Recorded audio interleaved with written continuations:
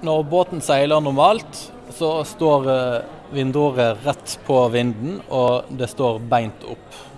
Når vindretninga endrer seg, vil eh, det slå pendelroret ned på sida.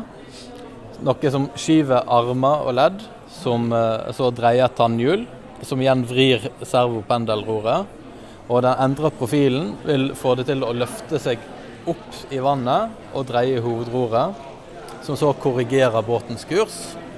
Når det er skjedd, vil vindroret rette seg opp igjen, og pendelåra vil gli tilbake igjen i nullstilling.